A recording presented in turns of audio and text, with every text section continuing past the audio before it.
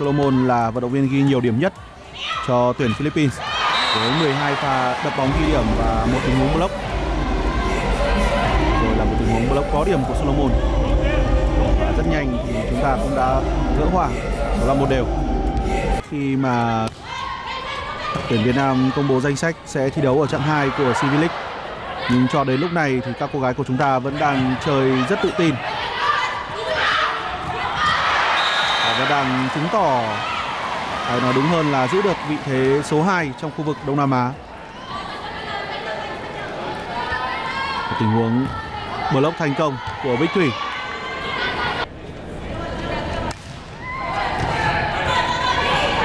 Kim Thoa và Bích Thủy một chân sau đầu.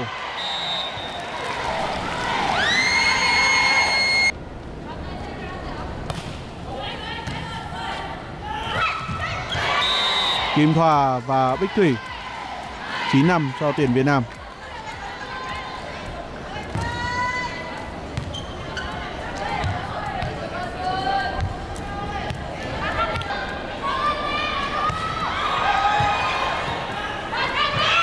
Kim Thoa và Bích Thủy Vẫn là những tình huống phối hợp đánh một chân sau đầu. Và lần này thì đã thành công 23 đều. Đây là đội trưởng Lamina. Đội trưởng này đã được tung trở lại sân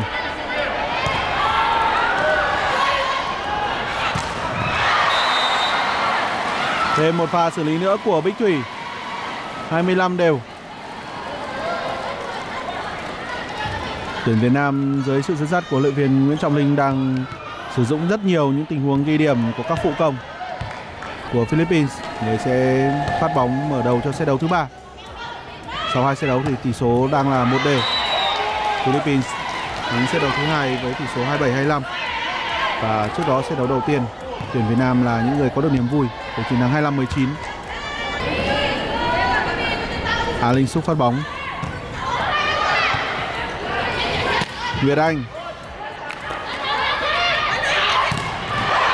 Block thành công. Một tình huống chắn đôi với Đoàn Thị Xuân và Bích Thủy. Cùng xem lại. Người chắn bóng là Bích Thủy.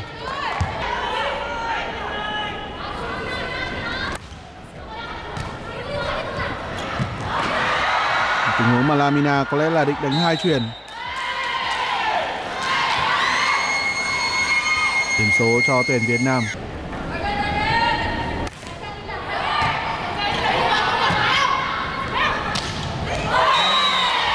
đánh bóng của Bích Thủy. Tỷ số bây giờ là 97 cho tuyển Việt Nam ở trong set đấu thứ ba.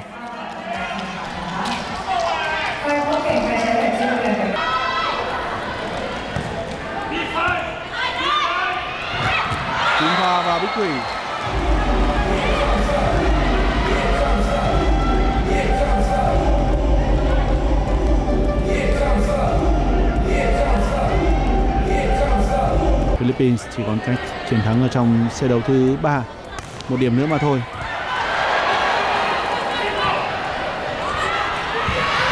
Xử lý của Như Quỳnh nhưng không đủ độ khó. Bế lên Kim Thoa. Kim Thoa và Bích Thủy đã bị bắt bài, nhưng Bích Thủy đã cứu set point thành công cho tuyển Việt Nam 26 đều.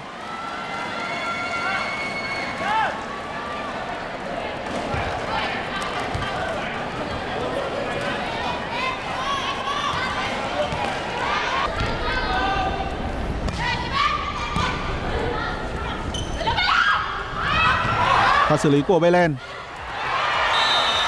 Một điểm nữa cho tuyển Việt Nam 2-0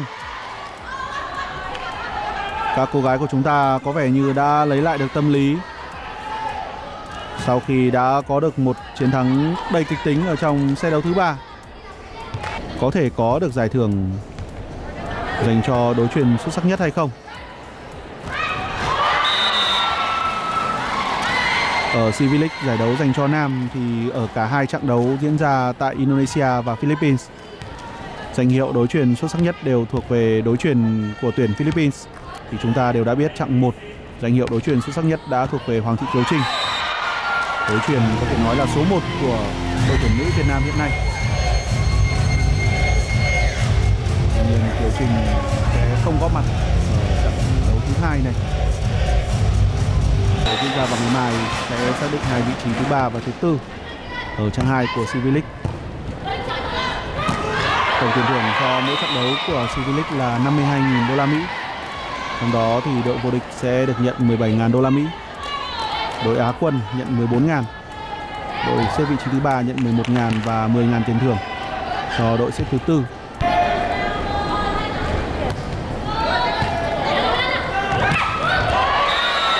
và xử lý của Bích Thủy. 18 10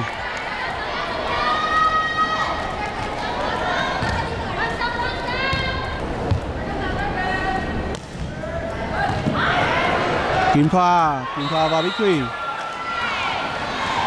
Điểm cho tuyển Việt Nam 19-11 Có một sự khác biệt. Rất rõ rệt giữa tuyển Việt Nam ở chặng 1 và chặng 2 lực lượng đang tập luyện cùng huấn luyện viên Nguyễn Tuấn Kiệt chuẩn bị cho VTV Cup. Giải đấu sẽ khởi tranh vào cuối tuần tới.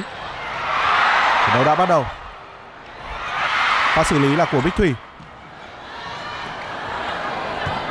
Hôm nay chuyến hai trên sân của Thái Lan không phải là cây chuyền hai số 1 con Pun, mà đó là một cây chuyền hai còn trẻ Sifo Donphon và đã có điểm số đầu tiên cho đội tuyển Việt Nam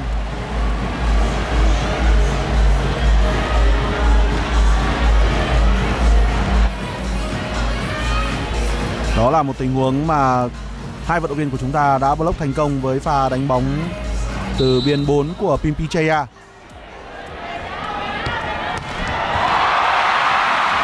Và phát bóng rất mạnh của Cha Chuon.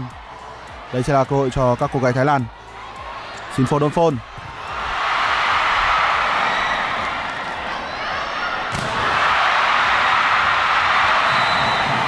Rất tốt những tình huống block thành công của đội tuyển Việt Nam.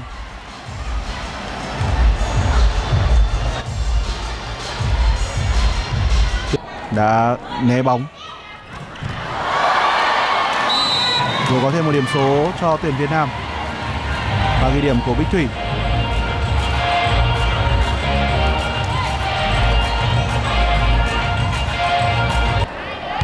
Win Morat phát bóng